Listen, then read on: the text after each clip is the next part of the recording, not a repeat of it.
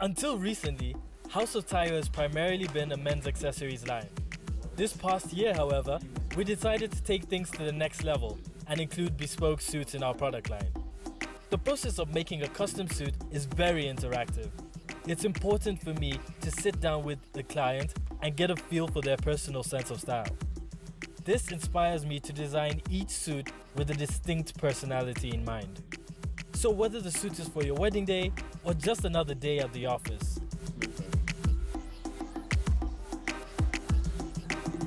my goal, my job is to create something that makes you look and feel better than any other clothing has ever done.